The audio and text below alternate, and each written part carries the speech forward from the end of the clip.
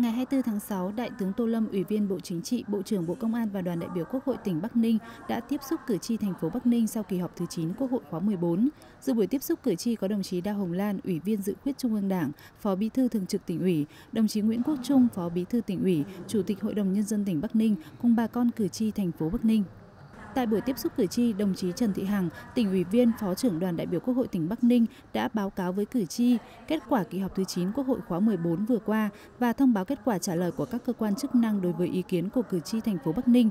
cho biết do đại dịch COVID-19 nên Quốc hội đã tổ chức họp kết hợp giữa trực tuyến và tập trung. Tại kỳ họp này, Quốc hội đã thông qua 10 luật, 21 nghị quyết, cho ý kiến 6 dự án luật khác, giám sát chuyên đề việc thực hiện chính sách pháp luật về phòng chống xâm hại trẻ em, xem xét các báo cáo về kinh tế, xã hội, ngân sách nhà nước và nhiều báo cáo quan trọng khác phát biểu tại buổi tiếp xúc, Đại tướng Tô Lâm vui mừng nhận thấy, tuy phải chịu ảnh hưởng nặng nề của đại dịch COVID-19, song thành phố Bắc Ninh đã đạt được kết quả rất đáng khích lệ trong phát triển kinh tế xã hội 6 tháng đầu năm 2020. Tình hình an ninh chính trị, trật tự an toàn xã hội được đảm bảo, tội phạm về trật tự xã hội được kiềm chế, giảm 7,6% so với cùng kỳ năm 2019. Đời sống nhân dân tiếp tục được cải thiện, công tác an sinh xã hội, chăm lo người có công và các đối tượng chính sách được chính quyền các cấp quan tâm thực hiện.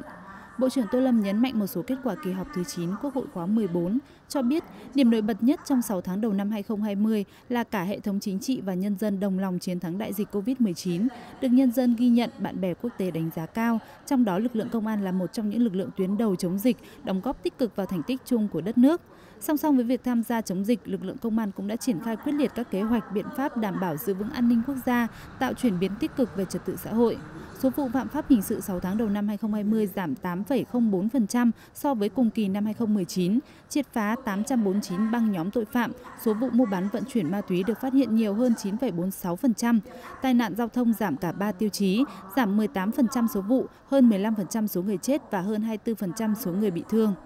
Trong thời gian tới, nhận định tình hình dịch bệnh COVID-19 diễn biến khó lường, tác động đến nền kinh tế tạo áp lực gia tăng tội phạm, Bộ Công an đã chỉ đạo toàn lực lượng tăng cường các mặt công tác để góp phần đạt được mục tiêu kép chính phủ đề ra.